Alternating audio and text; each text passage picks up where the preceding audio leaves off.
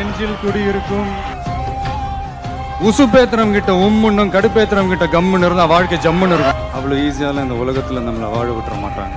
போட்டு ஒரு வழி பண்ணுவாங்க. அந்த லைஃப்ன்ற அந்த கேமை பார்த்து விளையாடுங்க. என்ன நண்பா? எல்லாருக்குமே நம்மள பிடிச்சி போச்சுன்னு வைங்களேன். அப்புறம் லைஃப் போர் அடிச்சிடாது. கொஞ்சம் பேருக்காவது நம்மள பிடிக்காம இருந்தால் தான் லைஃப் ஒரு மாதிரி ஜாலியாக இருக்கும் இன்ட்ரெஸ்டிங்காக இருக்கும் சுவாரஸ்யமாக இருக்கும். தர்மம் தாங்க ஜெயிக்கும் நியாயம் தாங்க ஜெயிக்கும் ஆனா கொஞ்சம் லேட்டா ஜெயிக்கும். இப்போ அழகும் ஆடம்பரமும் இருந்த ஆயிரம் பேர் கூட ஆசையாக பழகுவாங்க. அன்பாக இருந்தால் பழகுற பத்து பேர் கூட உண்மையாக இருக்கும்